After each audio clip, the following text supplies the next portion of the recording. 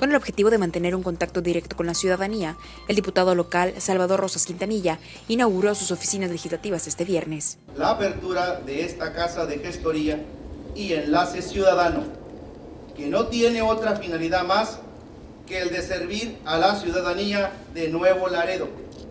El Partido Acción Nacional, a través de sus representantes, cumplimos nuestros compromisos de campaña, estar cerca de la gente, colaborar y ayudarles en cualquier tipo de solicitudes de que se les presente. Para Líder TV con imágenes de Ángeles Aguirre informó Nadia Ávila.